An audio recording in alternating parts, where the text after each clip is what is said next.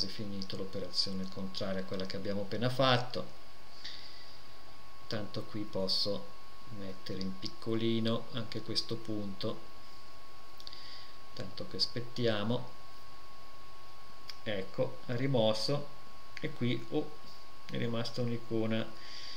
Eh, col punto di domanda perché eh, c'è l'opzione mantieni il lancio ma in realtà non c'è nulla da far partire l'icona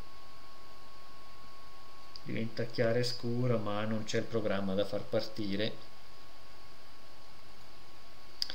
E allora lo togliamo per far pulizia. Voilà. E niente, il concetto che volevo mostrare appunto è quell'opzione proprio di integrazione con Unity che appena si schiaccia installa per un programma, attenzione, che ha un'interfaccia grafica, può sembrare ovvio, ma insomma avete visto la differenza, 7 zip, linea di comando, niente opzione AB Word, interfaccia grafica, opzione, vuoi aggiungere l'icona launcher sì o no. E questo l'abbiamo visto poi c'è un'altra cosa interessante che per il momento è mm, diciamo un po' come le barre di scorrimento dinamiche di cui abbiamo già parlato, vedete le barre di scorrimento dinamiche che sono diciamo una tecnica in prova, un'opzione in prova, ce n'è un'altra eh, molto interessante ma da considerarsi in prova che è questa, il test drive praticamente al momento per un certo numero di programmi fra i più usati c'è la possibilità di testarli su un server remoto sul quale sono già installati prima di installare sul nostro PC esempio. AB Word, proprio lo stesso AB Word ecco che ho proprio citato qui come esempio eh, ha questa possibilità. Quindi dico ma voglio vedere com'è prima di installarlo quindi vado sotto ulteriori informazioni. Prima di tutto così mi informo ben per benino su cos'è AbiWar vedo che è gratuito e non è a pagamento. Posso vedere un suo screenshot dico ah ecco sì un classico editor di testo però vedete che c'è sotto lo screenshot un pulsante test drive. Ecco se premo questo pulsante notate che AB Word adesso non è più installato sul mio sistema eh? quindi non lo è però schiaccio quel pulsante. Dopo un attimino esce la parola connessione 10 20 30% eccetera eccetera. Aspettiamo un attimo che si carica quindi sta preparando la connessione al server remoto gli sta inviando ecco le informazioni su che cosa deve mostrarmi. In questo momento siamo connessi ad un server remoto che mi mostra già aperta eh, una finestra di AB Word. E voilà interfaccia in inglese ma questo poco male però in realtà questo è veramente questo è AB Word funzionante su un server remoto che mi permette di provare e valutare un applicativo prima di installarlo sul mio PC e questa è veramente veramente una funzionalità molto molto interessante e affascinante perché a parte il fatto di dover avere una, una rete internet abbastanza insomma capace per poter eh, fare in modo che, quanto, che quando usiamo gli applicativi insomma rispondano anche in modo decente. Cioè una, una rete internet troppo debole non permette un gran lavoro insomma in, con, questa, con questa funzionalità. Però vedete che se ha, eh, avrà un futuro questa opzione e verrà ampliata anche l'offerta di programmi da provare è eccezionale perché magari leggendo la descrizione sembra quello che abbiamo bisogno, poi provandolo no, oppure il contrario, abbiamo dei dubbi della descrizione, beh proviamolo, così vediamo se è veramente quello che mi serve. Ecco, quindi poi alla fine chiudo questa, questa sessione remota che, che non mi ricordo più NX non so se si vede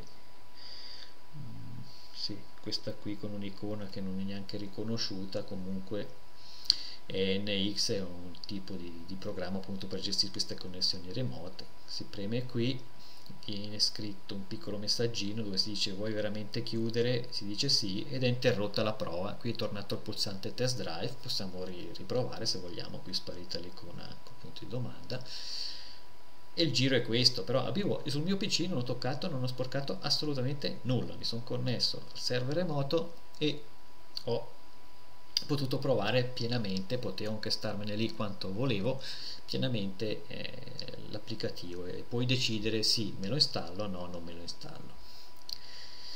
Eh, la premessa almeno allo stato corrente delle cose è che bisogna installarsi un pacchetto prima di poter usufruire di questa funzionalità. Il pacchetto si chiama Q questo qua QTNX eh, quindi si può venire qui software center si cerca QTNX io ovviamente ho già installato eccolo qua si installa si chiude software center si riapre software center e per quegli applicativi che lo prevedono come ho già detto eh, esce appare quel pulsante sotto la, la, la zona screenshot.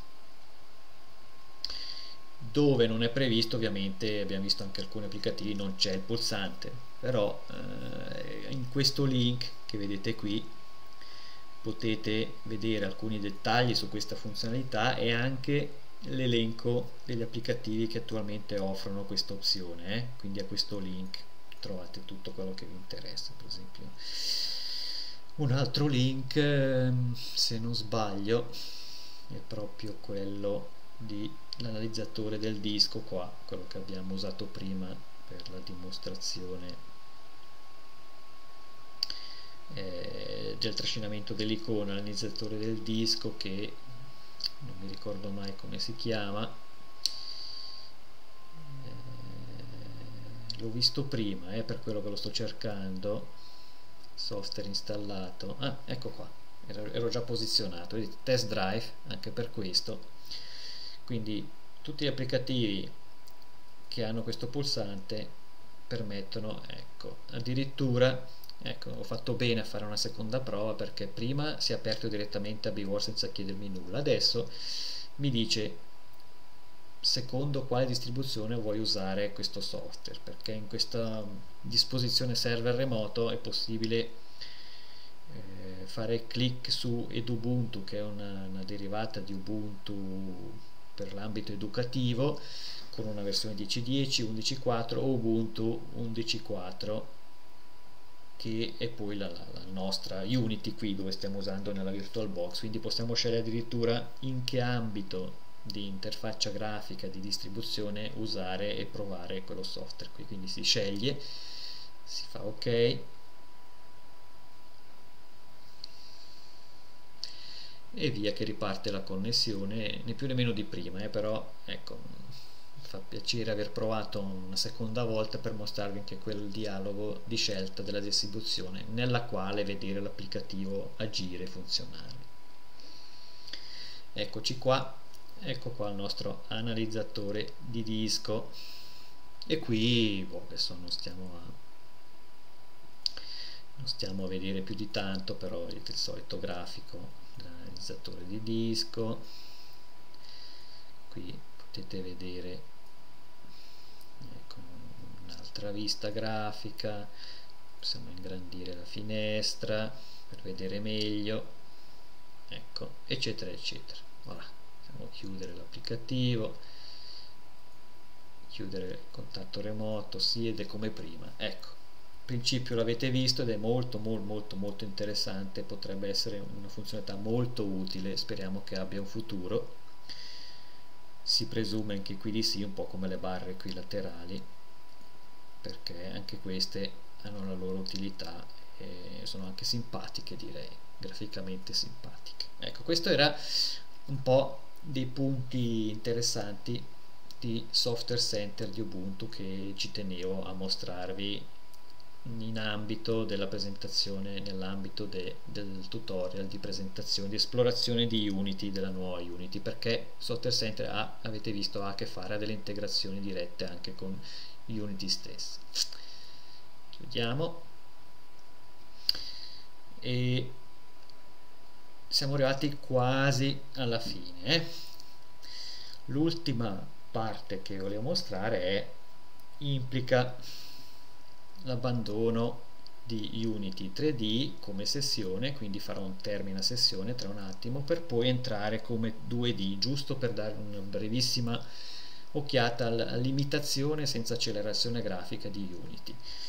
Eh, leggiamo la nostra scaletta velocemente, la nuova interfaccia Unity è parte di Compis, quindi richiede per forza accelerazione, questo già, ho già avuto modo di spiegarlo, la soluzione classica di Gnome sembra è destinata ad essere comunque temporanea per questa versione di Ubuntu 11.04, quella di fine aprile, perché poi a quanto pare Unity 2D ha preso così bene piede, diciamo, eh, così promettente come progetto che potrebbe essere la, la, la soluzione di fatto come alternativa all'accelerazione grafica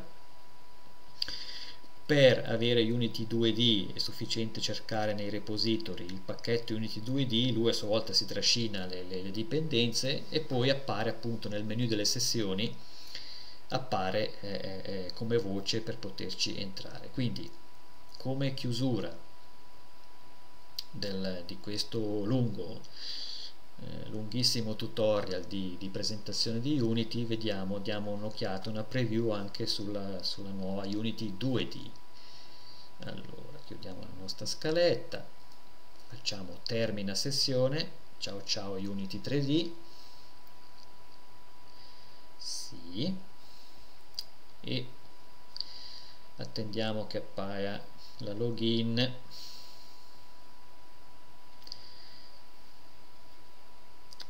ecco sta arrivando sicuramente mm. sta chiudendo la sessione di prima e dovrebbe apparirci ecco qua la nuova login voilà scelgo mia utenza e però adesso attenzione qui in basso dove non si guarda quasi mai quando è tutto a posto qui in basso ci sono i, i tre menu di sessione dove si sceglie la lingua la tastiera e il tipo di sessione grafica nella quale entrare. Questo menu può essere variabile per ognuno eh, chi ha solo eh, sessioni basate su GNOME avrà Ubuntu, Ubuntu, Ubuntu, Ubuntu qualcuno potrà avere KDE quindi non so se esce Kubuntu o KDE si può aggiungere quello che si vuole insomma LXDE eccetera eccetera. XFCE insomma qualsiasi eh, interfaccia grafica che è presente nei repository può essere installata e poi appare va a popolare questo menu di sessione. Allora a parte queste voci tipo recovery console safe mode eh, che sono voci di quando si è in difficoltà eh, quindi speriamo di non doverle mai usare c'è la voce standard di default che è Ubuntu quindi Unity 3D è Ubuntu punto e basta. Poi c'è Ubuntu Classic che è quella di GNOME appunto senza Unity però con gli effetti grafici compits attivi quindi ancora una volta con i driver che devono supportarlo e poi ecco questo è l'Ubuntu Classic NoFX che appunto non ha effetti grafici quindi quando la login noi diciamo che comunque vogliamo Ubuntu ma il sistema si accorge che non può supportare Unity 3D si scambia da solo fa uno switch automatico sul classico senza effetti. Noi abbiamo già installato Unity 2D e vedete che è apparso fra le scelte del menu. Quindi invece dell'Ubuntu che è Unity 3D che abbiamo visto finora scegliamo Unity 2D poi mettiamo la nostra password ed entriamo